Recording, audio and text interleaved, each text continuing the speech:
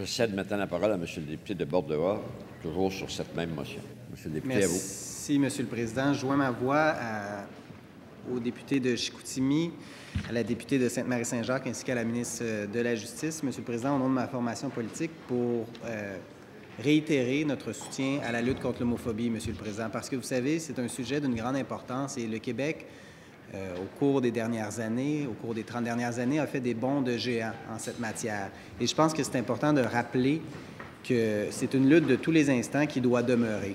Le Québec a fait œuvre de précurseur, notamment en adoptant le projet de loi 84, la loi instituant l'union civile et établissant de nouvelles règles de filiation en 2002, Monsieur le Président.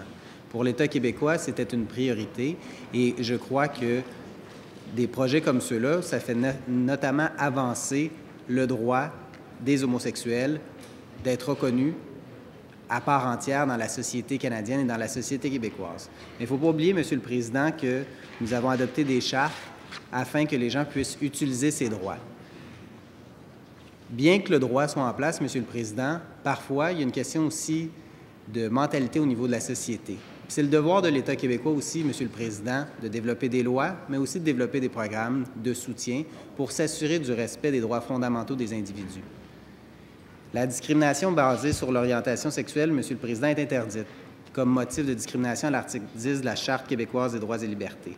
Donc, c'est important que tous ensemble, Monsieur le Président, nous continuions la lutte et nous nous assurions de faire de l'éducation, Monsieur le Président, et qu'à l'intérieur de la société québécoise, des comportements euh, qui- que celui qui s'est produit lors du dernier festival de Saint-Tite ne se reproduisent plus. Parce que, Monsieur le Président, il ne s'agit pas d'un choix pour les individus, mais il faut s'assurer que l'État québécois soit derrière eux et qu'on s'assure d'une pleine et entière collaboration afin de défendre les droits des homosexuels. Merci, Monsieur le Président. Je vous remercie, M. le député de Bordeaux, de votre intervention.